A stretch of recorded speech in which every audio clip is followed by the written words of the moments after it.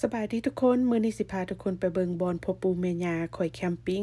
แล้วก็อันนี้จะเป็นภาพบรรยากาศตามหนทางที่จะขึ้นไปเทิงภูเนาะซึ่งบอนตั้งแคมป์นี่ก็บ่ไกลจากบ้านข้อยหลายขับรถประมาณ1ชั่วโมงและอันนี้จะเป็นบรรยากาศอ้อมรอบจุดที่พวกเพิ่นตั้งแคมป์เนาะซึ่งบอนตั้งแคมป์นี่เฮาก็บ่สามารถระบุ จาะจงได้ว่าเฮาอยากตั้งบนใดก็ได้เฮาต้องได้ลงทะเบียนก่อนแล้ว ก็สิมีคนบอกจุดเฮาเนาะว่า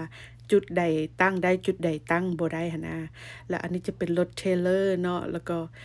มันอาจจะฮกๆแน่เด้อทุกคนเพราะว่ามันยัง set up บ่ทันแล้ว หากาขึ้นมาเนาะ ถ้าพ่อปู่แม่ย่าข้อยเพิ่น set up แล้วนี่มันก็สิเป็นตาเบิ่งกว่านี้เนาะมันก็สิงามกว่านี้เพราะว่าพวกเพิ่นสิ set up บ่อนนั่งลิ้นแล้วก็อ่ากองไฟหั่นนะเวลากลางคืนก็มานั่งอ้อมกองไฟเนาะแล้วก็มีซิงซ่าให้นั่งพร้อม ส่วนรถ trailer นี่มัน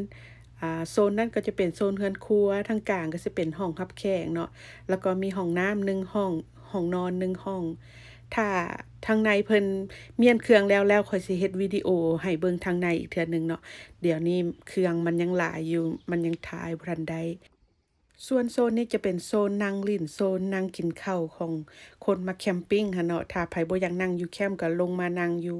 โซนนี้ก็ได้ย่างลงมาตื่มก็จะเป็นทะเลสาบหรือว่าเลกเนาะ มาเมื่อนี้เห็นส.สามคนก็จะเอามาซิดเบ็ดเนาะเทื่อหน้าคอยก็อยากซิดเบ็ดคือกัน แต่ว่าคอยบ่ทันมีใบอนุญาตเทื่อหน้าได้ใบอนุญาตแล้วก็สิมาซิดเบ็ดคือกัน หลังจากที่ช่วยพ่อปู่แม่ย่าแล้วผัวคอยก็ชวนขับรถขึ้นไปเทิงภูอีกเนาะประมาณ1ชั่วโมง ไปเบิงบอน จุดที่ผัวค่อยแคมปิ้งปีกายนี่ฮะนะจุดที่กระเจ้าแคมปิ้งลากวงฮะเนาะค่อยเคยเฮ็ดวิดีโอลงไปแล้วปีกายนี่ แต่ว่าเสียใจหลายหิมะหลายโพดไปต่อบ่ได้ ก็เลยเอาตัวมาลงมายางลิ่นหิมะแล้วก็กลับเฮือน